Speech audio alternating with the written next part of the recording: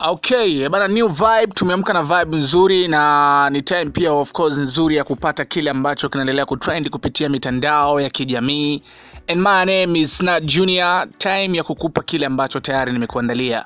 You know kwamba this time around soka la bongo limekuwa sana na hii tumeweza kuiona mara baada ya wasanii ma Giant kufanya ngoma ya timu ambazo wanazipenda. Tunafahamu kwamba siku ya tamasha la Simba Day mtu mzima Diamond Alifanya bonge moja la performance na alitunga wimbo maalum kwa ajili ya kuimbia Simba, lakini pia kelele zikawa nyingi sana, watu wakitaka Harmonize a perform kwenye tamasha la Young African ambalo litafanyika Jumapili ya wiki hii hapa. Sawa eh? Sasa kikubwa ni kwamba nyimbo ya Harmonize ambayo inaitwa Yanga imeweza kuvunja rekodi mbalimbali, lakini kubwa ni kuweza kuishusha nyimbo ya Diamond Platnumz namba moja on trending kunako mtandao wa YouTube.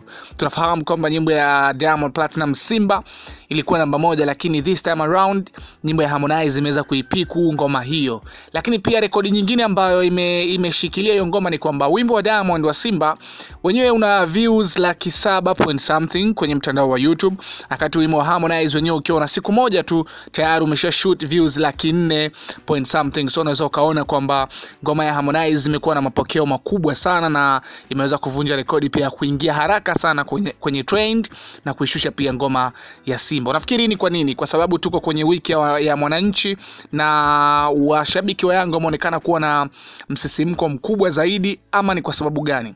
Unaweza uka comment hapo chini uka subscribe, ama ni ubora pia wa ngoma uh, lab, let's say labda wimbo Harmonize umepokelewa sana kutokana labda ni bora zaidi, ama inakuwaje? Wewe una mtazamo wako, hebu tuambie kupitia comment section hapo chini, lakini pia usiache kusubscribe harakati za Bongo ili uweze kuwa kwanza kupata zote ambazo zina kama cross